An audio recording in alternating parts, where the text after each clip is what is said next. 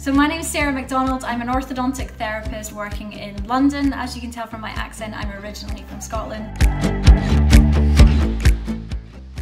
Um, I'm very proud to say I've been spending my lockdown time very productively. Um, I've been doing lots of online CPD and webinars, which has been amazing, just to get some dedicated time to really focus on those and update your skills and your knowledge.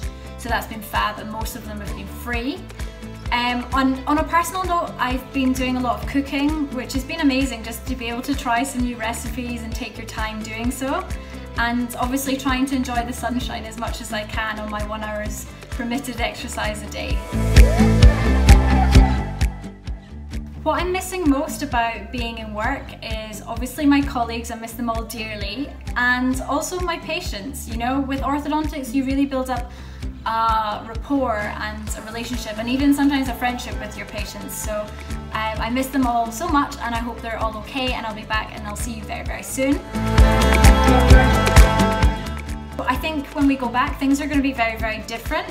Um, there's going to be a lot of extra procedures and um, policies in place to help us keep everybody safe and um, everybody, you know, feeling comfortable, which is super important and I'm all on board for. It's going to be strange at first to try and adapt and adjust, but it's going to be worth it in order to protect our patients, protect our colleagues, protect ourselves, protect our families.